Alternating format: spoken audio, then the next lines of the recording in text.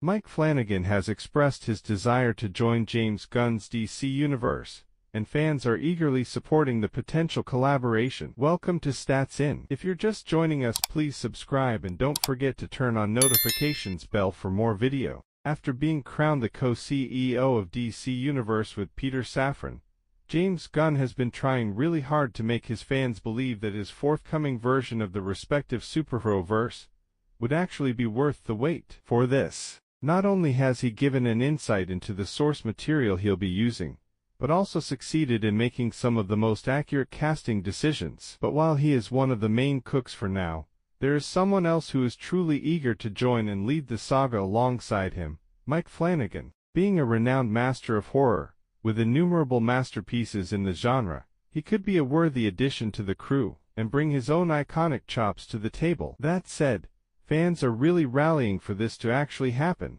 Filmmaker Mike Flanagan has long been associated with the horror, thriller genre, having helmed some of the best projects of all time from the respective genre. And, after delivering such chilling pieces, it seems like the next project he is looking forward to bringing to life just might be from the upcoming rebooted version of the DC Universe. At the currently ongoing Fan Expo Canada, the annual fan convention held in Toronto, Ontario, the genius director confessed his wishes about the same, saying, via Home Off Q on X, I will say that I have always been a huge fan of James Gunn as a person and a filmmaker, and that is a universe that I would absolutely love to be a part of. And we, yeah, we're having a good time. Okay, that's it for this episode. Thanks for watching. Please don't forget to share your thoughts in the comments section below. Please like, share and subscribe for more.